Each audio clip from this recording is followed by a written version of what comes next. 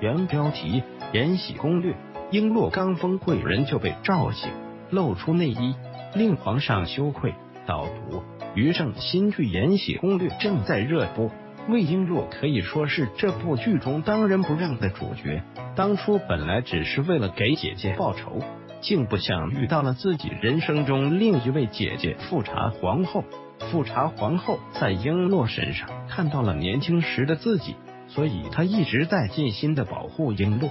然而皇后却始终逃脱不掉自己的命运。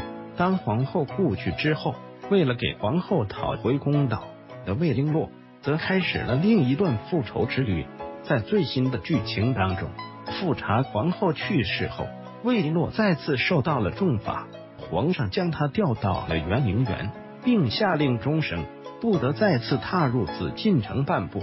但是编剧可不会这样轻易的放过璎珞，毕竟她将来会成为皇上所宠爱的令妃。一次偶然的机会。璎珞在明玉口中得知七阿哥永从富察皇后所生之子另有隐情，怀疑的对象就是纯贵妃。但是璎珞已经被罚入圆明园，而纯贵妃当时是皇上最宠爱的妃子，如果贸然行动，无异于以卵击石。在这种局面下，璎珞清楚要想扳倒纯贵妃，只能在后宫获得高位。于是他决定成为皇帝的女人了。因太后过寿，璎珞用两次人为的祥瑞博得了太后的欢心，恳求要回到紫禁城伺候太后。皇上对璎珞仍有防备，便决定将璎珞纳入后宫，以防止璎珞接近太后。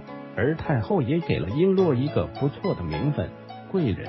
没想到的是，就在太后宣布将璎珞封为贵人的当晚。皇上却在要在长春仙馆召幸魏璎珞。长春仙馆曾是富察皇后所居住的地方。皇上这一举动无疑是对魏璎珞的一次羞辱。对此，璎珞自然心知肚明。然而，璎珞总是很聪明的。就在璎珞脱掉自己的外衣时，里面却露出了一件特别的内衣，竟是一件校服。璎珞趁皇后待自己恩重如山。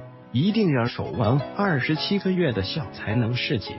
果然，当皇上看到璎珞所穿的校服时，羞愧难当，且有一点震惊。但是他似乎对魏璎珞这个人更加猜不透了。殊不知，他们之间的交锋才刚刚开始。返回搜狐，查看更多责任编辑。